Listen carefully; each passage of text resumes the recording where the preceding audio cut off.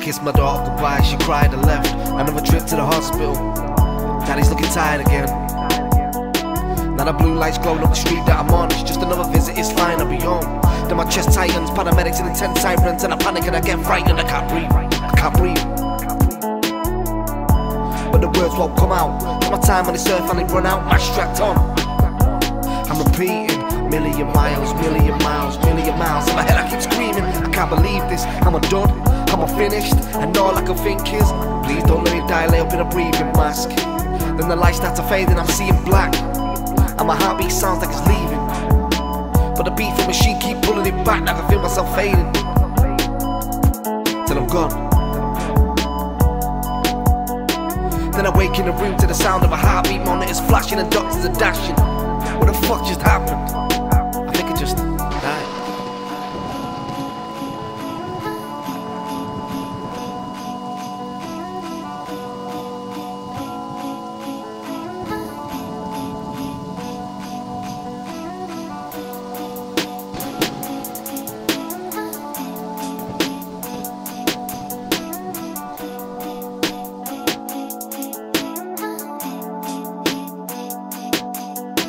Apparently my body was refusing oxygen. Now I'm confused and I feel like I'm lost again. Like, how can your body start refusing oxygen? I got a blank look back. I just told me I confused the doctor is. Now I'm tied to the bed with these tubes all around me, questioning every single person around me. Hating myself, more panic than emotion. So in the last few months, I felt like my body's been dissolving. Believe me, I know this. What can you do when you provide for your kids? Get on with your job, I never thought about surviving. I always thought I'd live, and that's real. I always felt like I'm Superman. I'm meant for more. I always felt like that my future's planned. And then it all crashed and hit me.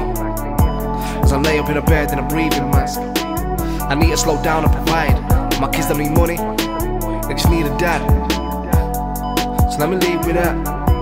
I'll be back when the time's right. For now, I need to chill. I just need to get my mind right.